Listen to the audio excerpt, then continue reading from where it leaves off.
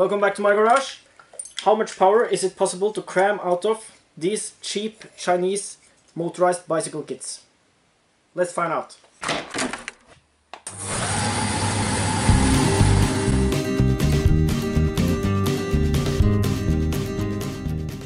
There's been a lot of interest in the comments for doing a motorized bicycle build, but I just couldn't afford buying one. Well, that's changed.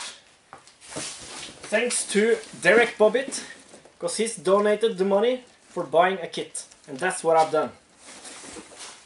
This is going to be so much fun.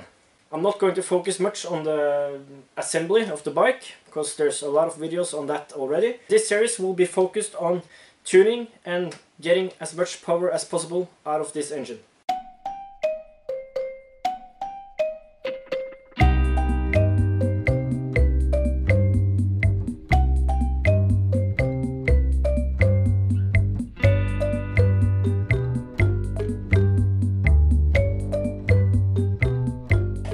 That took a while. The bike is kind of together. I've taken some shortcuts here and there just to get it done today to be able to start it and see if it runs.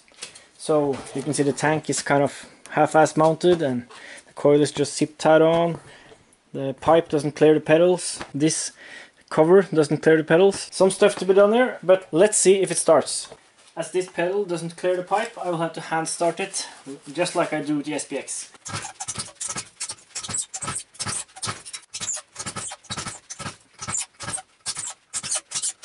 Well, maybe not.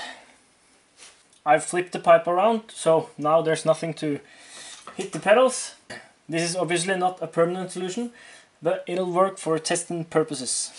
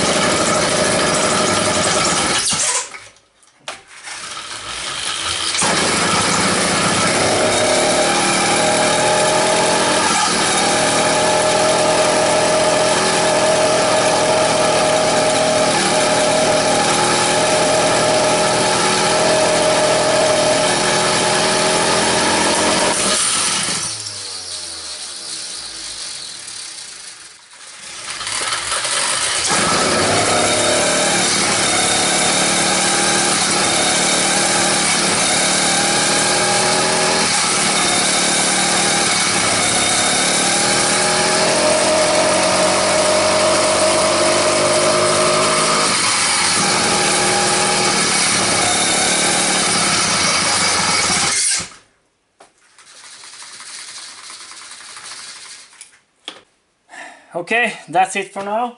I obviously have to work on uh, chain alignment. I'll fix that and uh, next time we'll put it on the dyno. Thanks for watching, please subscribe and I'll see you next time.